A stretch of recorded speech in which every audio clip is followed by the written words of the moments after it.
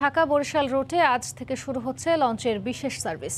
এই মুহূর্তে সদরঘাট লঞ্চ টার্মিনালে আছেন রিপোর্টার ধ্রুব ব্যানার্জি। সরাসরি যাচ্ছি তার কাছে।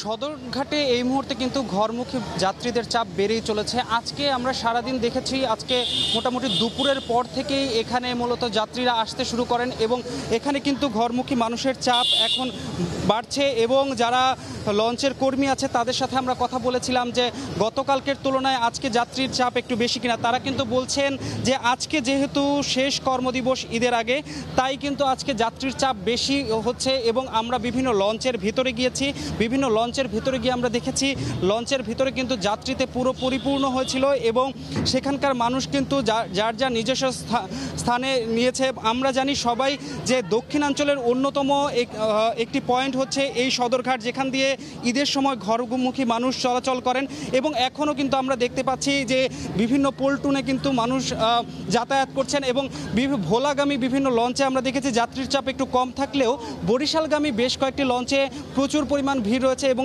তারা কিন্তু নিজেদের জায়গা নিয়ে নিয়েছেন এবং লঞ্চ কর্তৃপক্ষের সাথে আমরা কথা বলেছিলাম যে এই যে যাত্রী, এত যাত্রী যাবেন, তাদের নিরাপত্তার জন্য তারা কেমন ব্যবস্থা নিয়েছেন? তারা কিন্তু বলেছেন আমাদেরকে যে লঞ্চে যাত্রীদের নিরাপত্তার কাজে তারা কোনোভাবেই কোনো আপোষ করতে রাজি নন।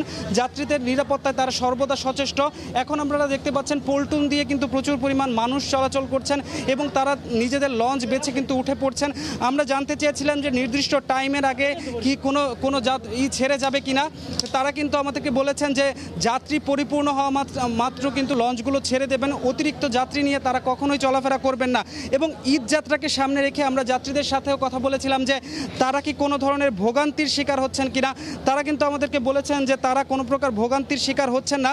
ঈদকে সামনে রেখে এখন পর্যন্ত যে অবস্থা বিরাজমান, এই অবস্থা যদি ঈদ পর্যন্ত সচল থাকে তারা, তাহলে খুব সহজেই কিন্তু তারা বাড়িতে যেতে পারবে এবং তারা কিন্তু নির্বিঘ্নে ঈদ করতে পারবেন বলে আমাদেরকে জানিয়েছেন।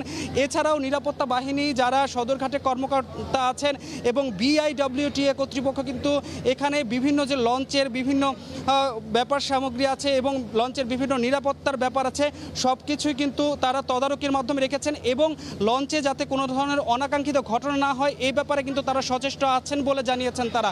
এই ছিল সদরঘাট থেকে আমার কাছে সর্বশেষ। এতক্ষণ সরাসরি যুক্ত ছিলাম সদরঘাট লঞ্চ টার্মিনালে।